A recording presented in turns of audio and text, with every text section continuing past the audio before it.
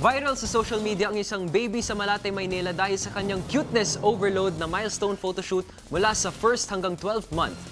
Makikita sa mga larawang ipinadala ng tatay at bayan patroller na si Christian Eric Villaflor ang Filipino street food inspired photoshoot ng kanyang baby na si Elio. Tampok dito ang mga tusok-tusok na pagkain tulad ng Betamax, isaw, kwek-kwek, dynamite, pati na rin ang balut, potato fries at puto bumbong. Lahat ng ito ay mismong si Christian ang nagdrawing at nag-isip ng konsepto habang ang kanyang tita na si Leonora Fernandez ang nagtahi ng mga costume. At sa first birthday ni Alio, fiesta naman ang naging theme ng kanyang photoshoot.